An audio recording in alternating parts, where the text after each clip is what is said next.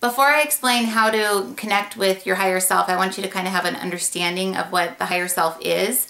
Um, I wrote up this little chart. Anyone that's taken my classes knows my little chart that I always draw in classes. It's kind of like a um, hierarchy of God or hierarchy of um, spirit or um, something like that. And hopefully the camera can read this. But um, like right here, um, there's a circle and I don't know if you can read it on there and my handwriting's kind of sloppy, but it says source. So um, when I say source, I just mean the guides, what they say is basically they don't call God God, they call God the light. So there is a source of all creation, a light in which everything emits from, a light, an intelligence that everything comes from, and that's what I'm calling source right here.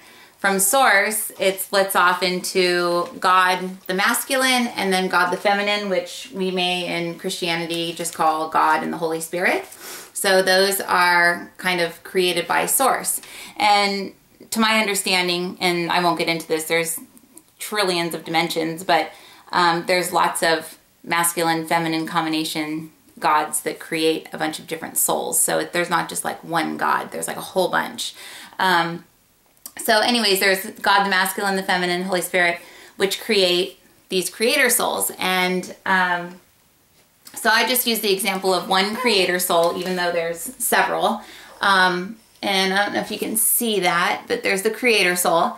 And that creator soul basically is infused with the knowledge of source, is basically the child of the masculine feminine, so it's a combination of both. So it's its job as a creator soul is to create souls. So these are souls right here. And those souls then uh, create spirits. So these are, so it goes creator soul, soul, spirit. And what happens is those spirits are then assigned down to right here is kind of like this would be considered like the other side like on the other side if someone's completely crossed over. If someone hasn't crossed over they're still down here. This is earth down here.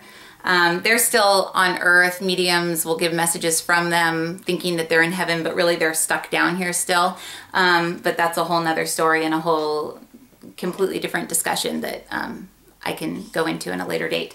But anyway so here's the soul the spirit. The spirit is then assigned to different soul groups. So here's the soul groups right here. You can kind of see one, two, three, four. There's a ton of soul groups, but I just kind of drew this up really quickly earlier when I was doing a tape and then uh, right in the middle of it, the battery died. so I'm having to start all over.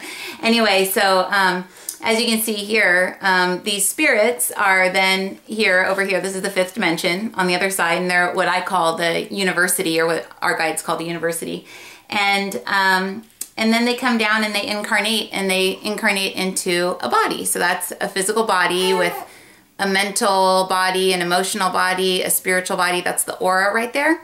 So that spirit comes, lives in this person. And then when the spirit, when the body dies, the spirit takes everything it learned here and takes it back over to that side. Meanwhile, everything is being uploaded to the spirit, or I'm sorry, to the soul, up to the creator soul. Hey, it's okay. And and on and on, all the way up to God. So when they say that we're all experiencing life so that God can expand, um, it's true.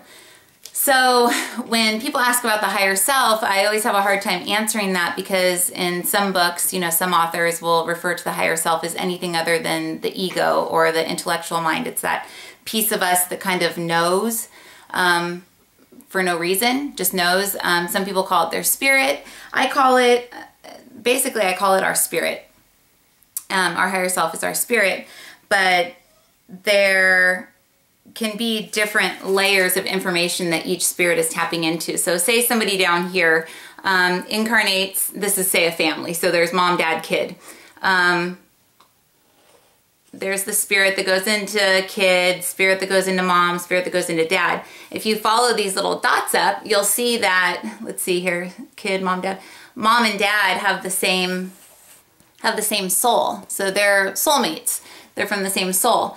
Um, so all of their experiences are being funneled up here, kind of like an iPod um, syncing to like a hard drive or something like that. Um, most human beings cannot access that information, but can usually access what's within their field right here. But when we get into spirituality and we start opening up to higher states of consciousness, we're opening up and up and up to bigger pieces of us. Jesus was an example of somebody who was able to embody their Christed soul. So he was able to embody his soul because on some level, all of us have already been Christed. All of us are perfect. So um, when I talk about the higher self, I just talk about whatever layer layer of ourselves we're tuned into on the other side. Um, but a lot of my students, I call the higher self um, one of the layers of our body, which would be the sixth layer. And you could share that layer of your body with family members. And that's kind of what I'm about to get into is when you want to tune into your children or you want to tune into um, a family member and find out what's going on with them, you really don't need to go outside of yourself. All you need to do is go within, ask your higher self to show you what it is that's bothering them, what it is that you need to know about them, and you'll see it all without having to go outside of yourself. If you're tuning into somebody who doesn't share a higher self with you, somebody that doesn't share, you know, one of these layers, you, you could very easily share this layer with a bunch of people that you know and have different souls, different spirits, but come from the same oversoul up here. Um, so there's lots of different combinations and that's a whole different class that I teach on, on kind of like the anatomy of the soul. And I won't really get too deeply into it, but so when you're tuning into your child, you're asking to be taken into the layer of your body that you share with them. That way you don't have to go outside of yourself to tune into their energy. So the technique goes like this. Let me get Madison. Hey. I'll be right back.